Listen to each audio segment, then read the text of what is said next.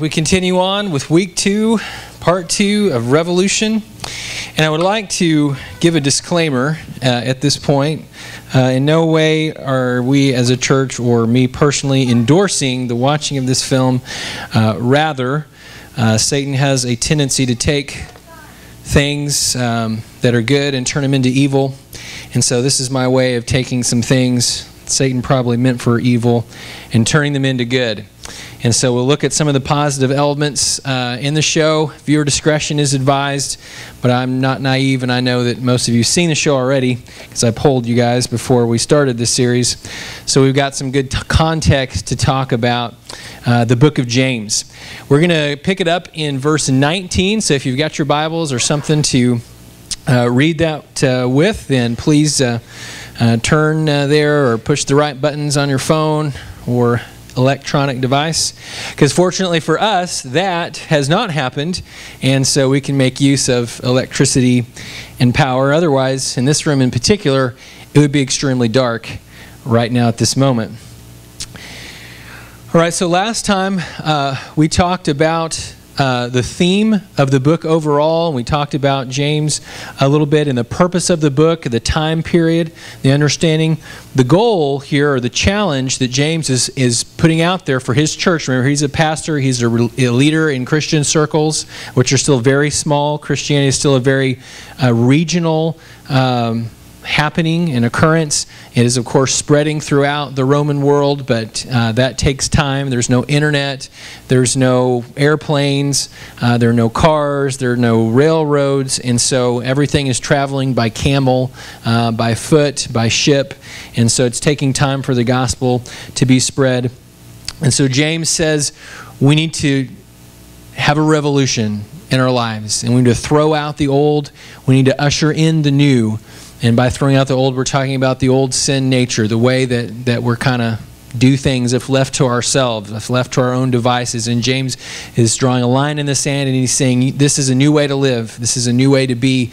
And there ought to be some outward signs of the transformation that's happened inwardly inside of us. And so he begins to de- detail out for us what those signs look like uh, so that as he follows Christ, he is, lead, he is trying to demonstrate that following uh, to those people in his church. And so here we are doing the same thing, trying to follow Christ, understand who he was, what he's commanded us to do, and try to cut through all of the, the religious language and through all of the, the cultural beliefs about Christianity and get to what's actually true, which is always, always the challenge. It's kind of like if you ever watch a commercial and you're trying to figure out what's actually true about the product that's being advertised, it can be kind of challenging. Because uh, then at the end, it's all of a sudden it sounds like this, you know, and they say some kind of thing about how it's going to kill you and you're going to get a heart attack and die if you use this product, which makes no sense to me. But you know, I'm not in charge of that, so I don't know what to say. Let's look at verse 19 where it says, My dearly loved brothers, understand this. Everyone must be quick to hear slow to speak, and slow to anger. All right, so three things. Let's all let's kind of get those in our mind. I think this is a great verse to memorize. All right, this is worth not that other verses aren't worthy. If you're like Sophie, you've got the whole thing memorized, and Ethan. But if you're not like that, uh, and then you just have, can just remember one verse, then let's let's kind of commit this to memory. We need to be quick to hear, slow to speak, and slow to anger. Let's all of us say that together. We need to be quick to hear Oh, come on now. We need to be quick to hear, slow to speak, slow to anger. All right, great job. Great job. All right, you guys are definitely with me now, at least for the next 30 seconds. And then, in the kind of the conclusion part of that section, for man's anger does not accomplish God's righteousness. Hmm. Think about that. E- even if you're right, even if um, there's really nothing wrong with your position or what you're saying. God doesn't need our anger. He needs us to be slow to speak, quick to hear, and slow to become angry. And this is a challenge, all right? Many of us, we are quick to become angry. And so we have to work at that and we, we have to create a new default response. You know, we all kind of have default responses, right? Just the way that we're kind of pre programmed to respond, usually through a conditioning, uh, maybe from our parents, maybe from a favorite show that we watch or a childhood hero. And so we kind of take these personality characteristics, and so there are these switches that get pulled or there are these catalysts that happen. And then we just go from uh, completely calm and fine to just infuriated and the adrenaline's running. And, and so in that moment, we can't really necessarily change that chemical reaction that's happening in, in our body. But what we can change is what comes out of our mouth, right?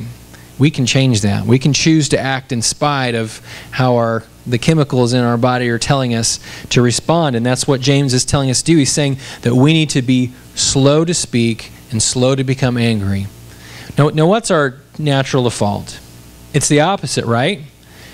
I mean, we're always quick to speak. We always want to share our opinion, tell everybody what we think, you know, gab in, get in on, you know, post on our Twitter or whatever, tweet or whatever we're going to do to react to some conversation. Really being silent, that's not our first thought. But it's something we need to learn. That needs to become our first thought is to, to be silent. Now, I wonder why that is. Why would it be a good, I mean, let's just reason that out for a minute. Why would it be good to not just immediately respond verbally to something. You can't take back what you say.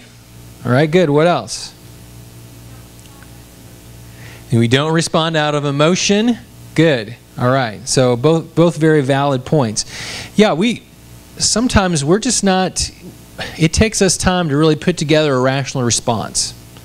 We can we can respond irrationally pretty quickly. But to put together the right kind of response and a godly response and a, a response that's been sharpened and conditioned in the right way, it takes a little bit of time. And so the Holy Spirit warns us through the book of James to be slow to speak, slow to become angry, and that we ought to listen because many times we jump to conclusions, don't we? We all do it. We stereotype people. We, stere- we, we expect uh, what we're going to hear is coming. Uh, you know, uh, in marriage, a lot of times, especially if you're married for a long time, Stephanie and I, we do this sometimes. It's usually me because Stephanie's just pretty well perfect. I mean, she's like just one step under Jesus. But um, I will sometimes think I know what she's going to say or how she's going to react, and I will go ahead and, and, and kind of hear her saying it without her even saying it at all and then she'll say something completely different, and I'll hear what I expected to hear, and then Shazam, you know, I'm on it like a, I don't know, a beast in a, I don't know, something. I don't have to come up with a good saying there. I'm not sure what to say. But I'm on it like a fly in sandpaper. There you go. Um, and so I, I just can't, I'm going to get stuck, and I get cut off because, yeah, my poor wife, she's just praying that all, you know, the sermon will end soon. And so we have to be quick, we have to be careful that we don't get stuck in that sticky situation. So let's see, let's go on. Let's see what's next. Therefore, ridding yourselves of all moral filth and evil excess, humbly receive the implanted word which is able to save you.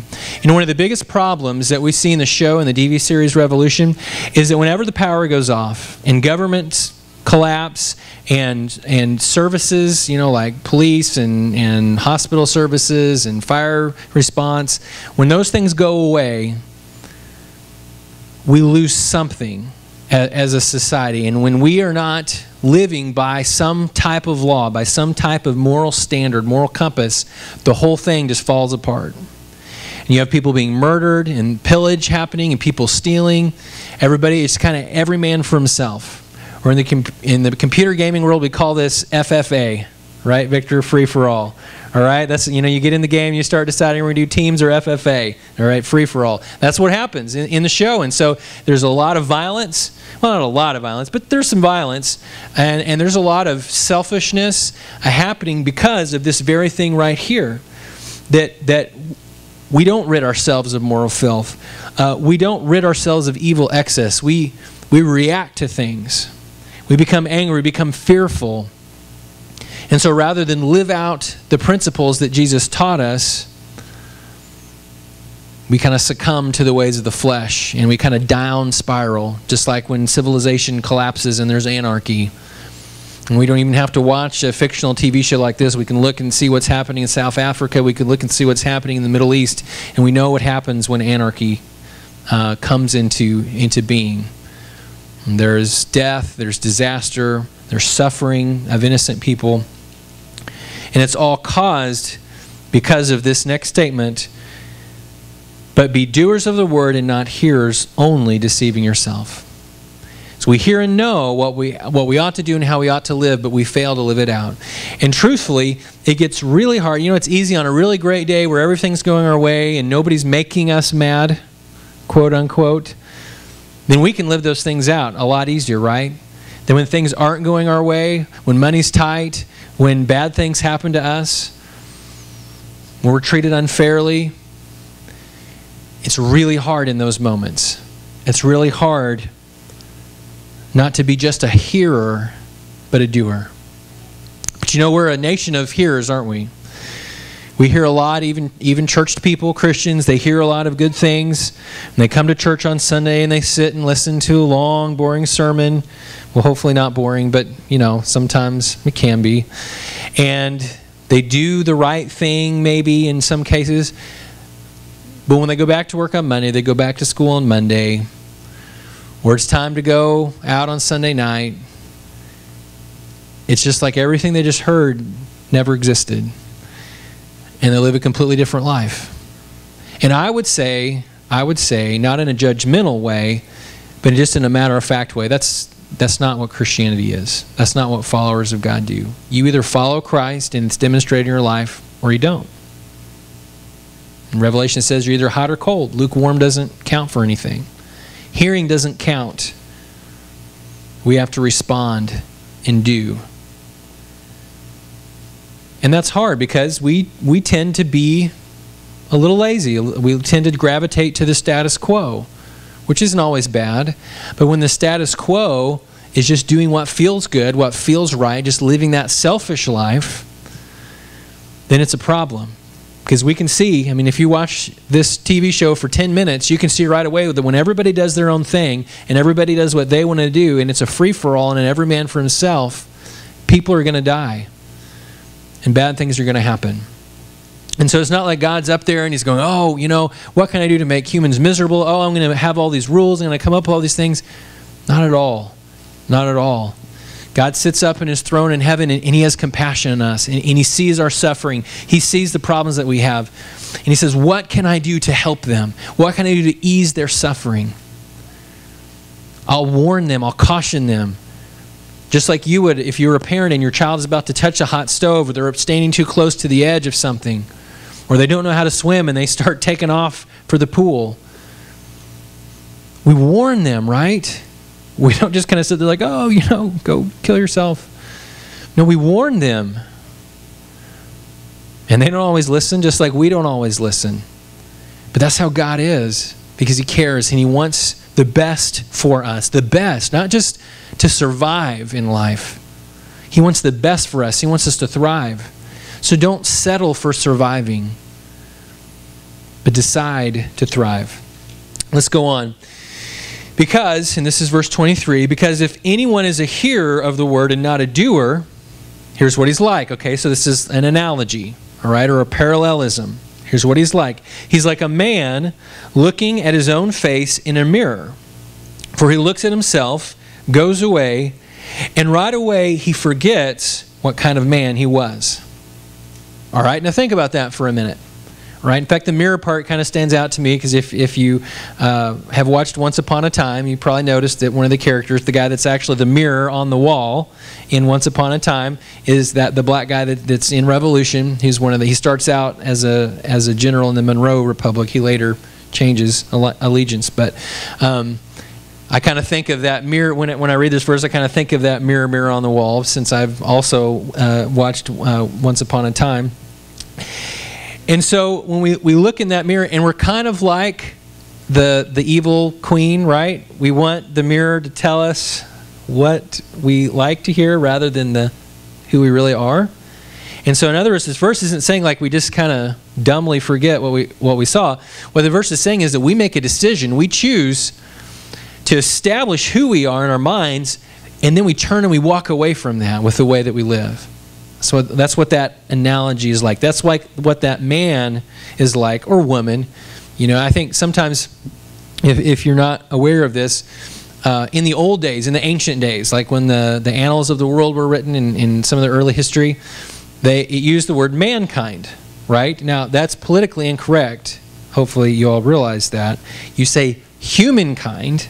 Hello? I mean, seriously. Um, but back in the old days, they said mankind. Now, was that because they were sexist and because they didn't think that women should be referenced? No. Well, I'm sure there were some people that were sexist. But that term actually is talking about everybody, right? And the reason that word wasn't humankind in the beginning is because in the beginning, God created man, and then from the man, he created woman, right? So they're linked together. They're the same. I mean, they're not the same, but in this sense, they're the same. Everybody with me? So when we see that word mankind, don't get all, you know, up riled up, you know, ladies or, you know, guys that are, you know, kind of in that deal. It's, it's all good. No offense is intended. We're talking about people. Mankind, humankind, same thing. I'm still going to use the politically correct form because I don't want to offend anybody, but, you know. Okay, so when we when we fall into that category and we're like this person here, then we know that we're being disobedient to the calling of Christ, that we're living our life in a way that is not pleasing to God and is not the way that we ought to be living. Let's go on, verse 25. The one who looks intently into the perfect law of freedom and perseveres in it, and is not a forgetful hearer, but a doer, who acts this person who acts this person will be blessed in what he does. All right, so we have some interesting words. Perfect law of freedom. It's interesting because that would suggest maybe there's an imperfect law. And then perseveres and then not a forgetful hearer. I think those are all important elements. So let's just let's kind of break uh, these down briefly. So if you look intently into the perfect law of freedom and you persevere in it, then what are you doing? Think about that for a minute. So there's a lot of laws, isn't there? There's a law of sin and death, right? Jesus talks about the law. Paul talks about the law of sin and death.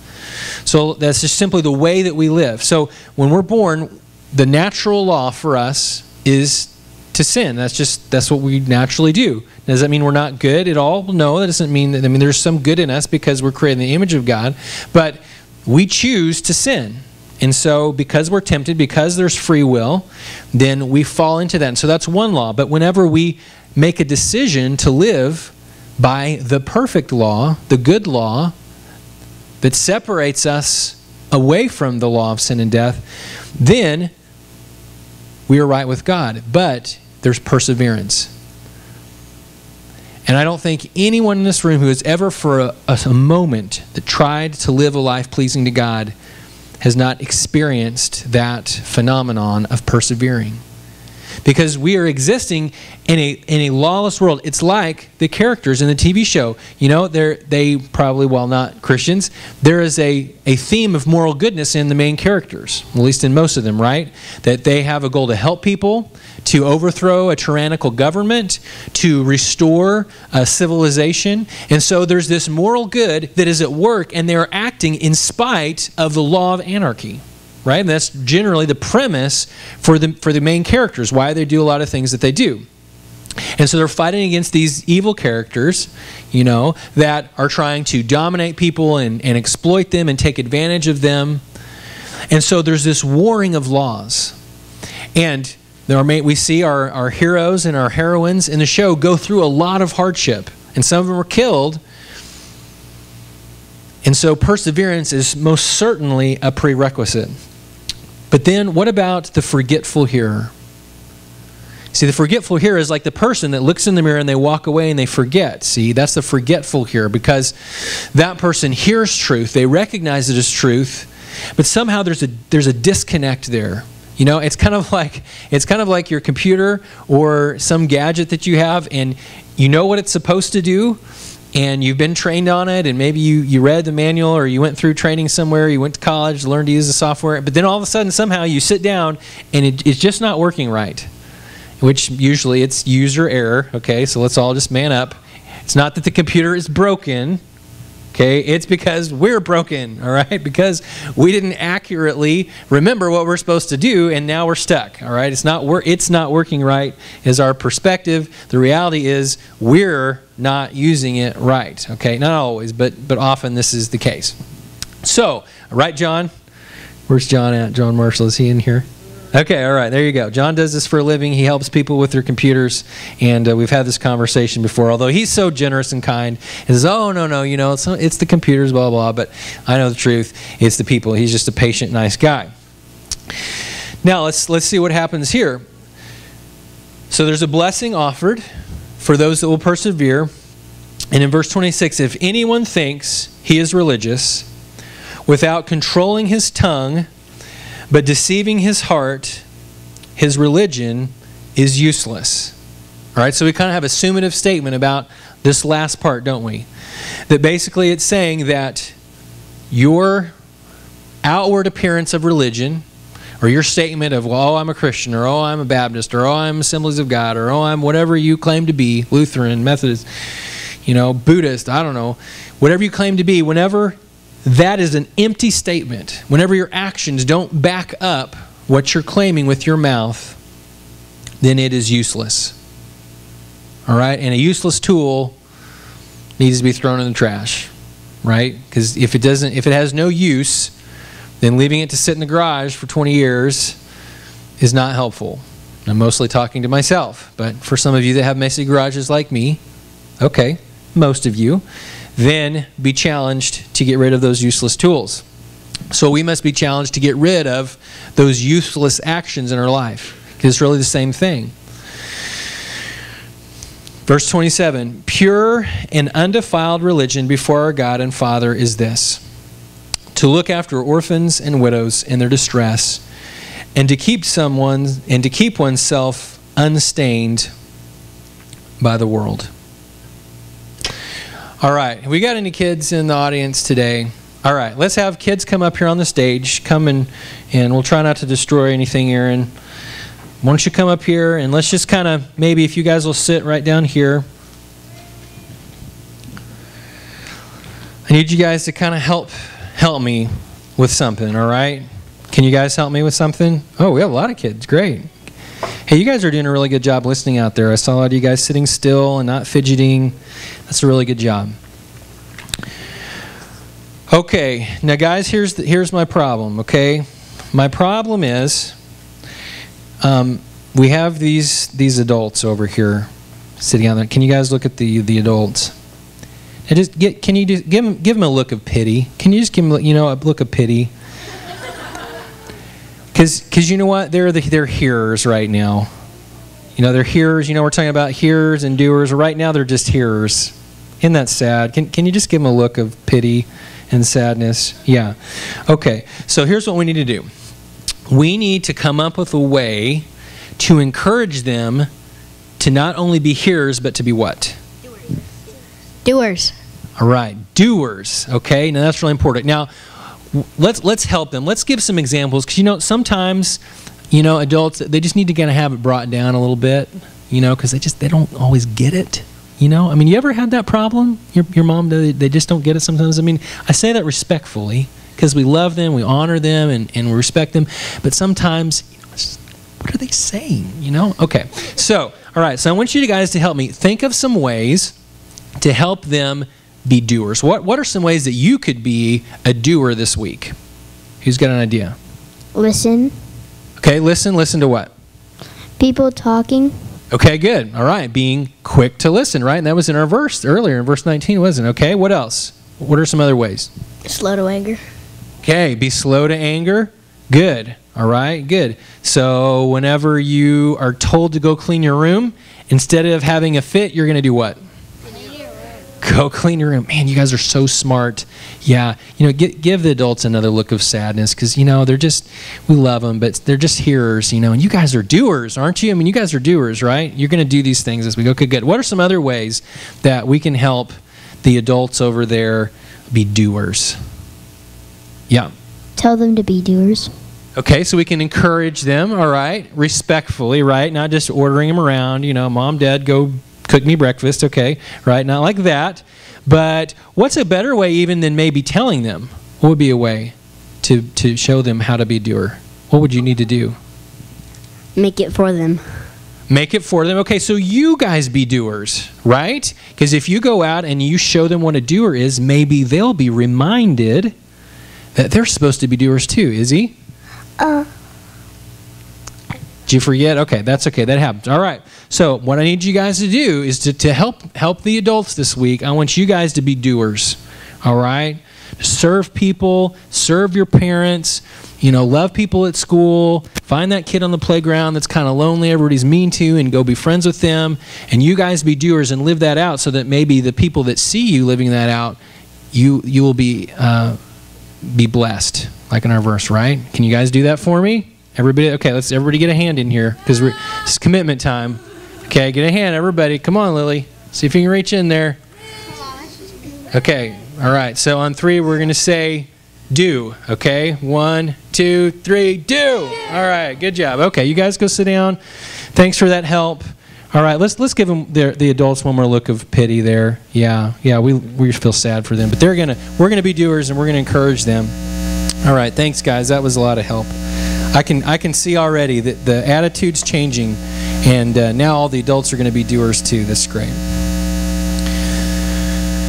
So I think that's an interesting statement. Now, instead of making some kind of world-changing, you know, go and make disciples of all nations kind of statement, instead we see look after the orphans and widows. Now, what what is unique about orphans and widows that that would cause us need to look after them?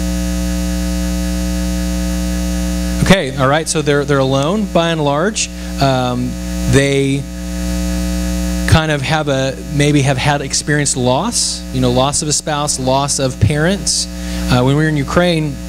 Um, this last time we weren't able to go to orphanages, but uh, several times before that, because we don't have orphanages like that here, um, it really has an impact on me when I go and I see all these children and they're just desperate for a hug, desperate for someone just to look at them, to recognize that they exist.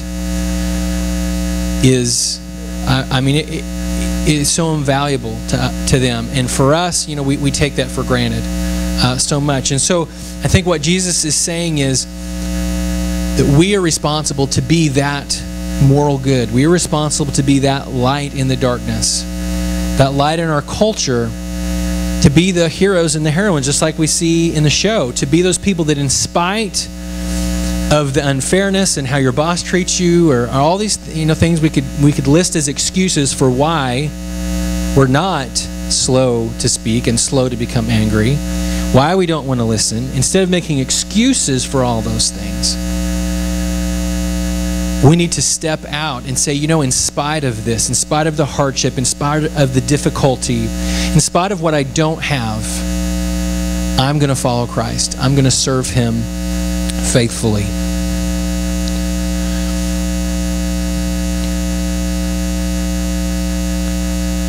This uh, tomorrow is Veterans Day, and being a, a student of history, I take um, holidays like that, and Memorial Day, Independence Day, pretty seriously. Um, and I wouldn't I wouldn't stereotype me as one of those kind of like gunslinging Christians, although I kind of am a gunslinging Christian because I am a Christian and I sling guns. Well, I shoot guns. I don't know if that's slinging necessarily, but um, I, I wouldn't say that it's you know this kind of God and country mentality as much as it is. I recognize that there is a cost for things. Nothing is free. There really is no free lunch. Everything has to be brought into balance. There has to be a price paid for something to be gained. And so I, I realize I have these moments as I, I read, as I watch documentaries, as I talk to family members, I talk to people in church that have spent time in World War II, in Korea, in uh, Afghanistan and Iraq and many, many other places. There, there's a great sacrifice that is involved. There's a sacrifice of the man or woman that's in uniform. There's a sacrifice of the family. Uh, in many words, there's a sacrifice of a culture who give up uh, the comforts of life for a time um, so that we can be free. Last week we mentioned, um, when we are talking about the film and some of the elements of the film, we, met, we kind of mentioned, and it, you know, maybe it was a little bit of a controversial statement, that sometimes as a nation, uh, being a superpower means that we have responsibility to take care of orphans and widows. I mean, in a very literal sense. Um, in fact, I watched, uh, I don't think I mentioned this last week, I actually watched a documentary. It's on Netflix, and it's called The World Without the U.S. And it, it it's kind of a what if. You know, what if all of a sudden the U.S. just disappeared? Or we just said, you know, we're just going to mind our own business and we're not going to interfere in the world. And I was shocked at how quickly the rest of the world would be plunged into chaos. We are keeping Western and Eastern Europe from being overrun. We are keeping peace in the Middle East. We're keeping peace in Africa and South America. It, would be a disaster. And I'm not necessarily making a case, oh, you know, we should be everywhere and, mess, and meddle in every, every country's business. I'm not making that case. But what I'm saying is we have a responsibility to be the people as believers, as a nation that was used to be founded on God, a constitution that used to be respected and, and, and be the rule of law. We that uphold those values, we ought to be the ones that keep it all from falling apart, to be that moral goodness. To be like the characters, although they're not perfect, just like we're not perfect, uh, that fight against tyranny, that fight against poverty and loneliness and, and lostness in our culture and in cultures that are far, far, far away. But yet again, we're brought back to the problem that where we started is that anyone can be a hearer, but we have to decide to be doers. And I think it's such a hard thing because the cost of hearing is small.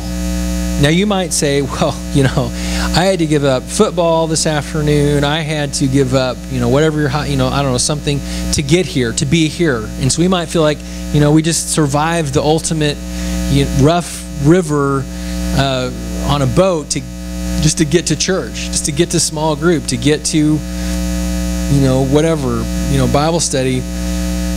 And yet, that's really the easiest part. I mean, just getting here and hearing, right? I mean, even for me, I'm really not any better than a hearer right now because I'm I'm just repeating basically in kind of my own way and with my own slant on things of, of James and, and the Holy Spirit as he uses James to communicate to early church and to communicate to us. So we can't just stop with the easy part. We have to move forward and become doers. And I think for some of us, we, we might become arrogant and prideful and say, well, you know, I'm I'm a doer. You know, I do things. I do good things. I went, I went to Ukraine this year. Uh, I went to Suriname last year. I went to Nebraska. I went to, you know, you fill in the blank. I went down to Victory Mission. I went to Lista. Did you know, when you start making excuses for how we're doers and forget to look in the mirror and remember who we really are. And to remember that there is a cost for everything. And are we willing to pay the price that is required? Like so many men and women that have come before us, that have, that have basically created the, the potentiality for us to be here together in this room right now. Because they have defended, fought for, and defended our freedom, we can be here and we can enjoy this time. Many of our brothers and sisters cannot do that. I know that's hard for us to imagine. And there may become a time in our nation where we cannot do that. But as for right now, we can. And so I think that we demonstrate our appreciation, our thankfulness for that. Because it is the season of Thanksgiving after all. By being doers and not just hearers. And that would you come and begin to play. And I think we're we're kind of stuck with a little bit of a choice here. Because we have to move past the hearing stage. And our kids are going to lead the way for us this week. And so let's be looking at them and let's see what they do. Let's see if they take that challenge seriously. But let's look inwardly at ourselves. And let's not think about our spouse. Let's not think about our kids, our parents. Let's not think about our coworkers for just a minute, and let's just think about ourselves. I'm going to ask every every person in here to, to close their eyes and bow their heads. Nobody looking around, nobody on their phone. Let's just let's just take a moment. Let's let it just be us and the Lord. Let's just have a moment of truthfulness.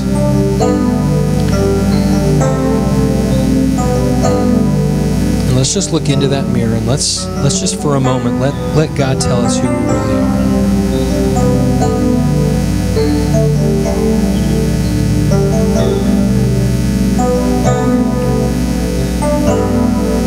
I believe that each of us at this very moment, we have things in our life that we need to repent of. That just simply means we need to turn away from some choices that we're making and go in a different direction, the opposite direction. So I want you to just capture for just a minute those few, maybe just a few things that the Lord's brought to your mind, just to grab those things. And to make a decision not just to hear the Lord speaking to you today, but to actually turn away and to make a significant change in these areas of your life, regardless of the cost.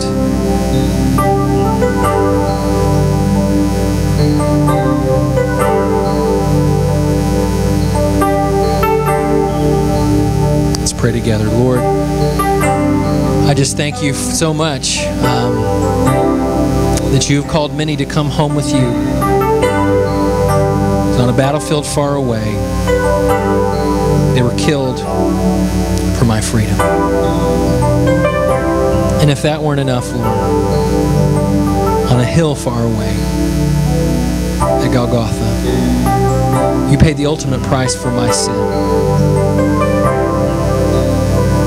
And even while I was lost in that sin, and I hated you and I had wanted nothing to do with you, you had compassion on me and you reached down and you delivered me. God, today I pray that as a church, as men and women and children of God, that we would come humbly before your throne today. And that the things that in our life that need to be changed, that, that once and for all, Lord, you would just give us the strength to make those changes.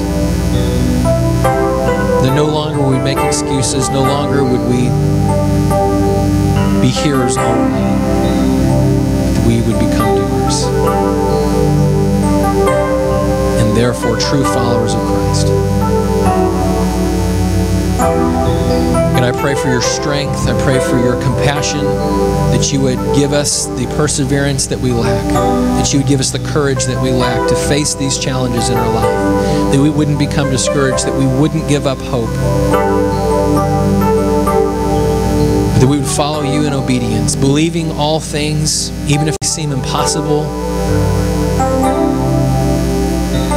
knowing that your promises are true. And we just thank you and ask all these things in Jesus' name. Amen.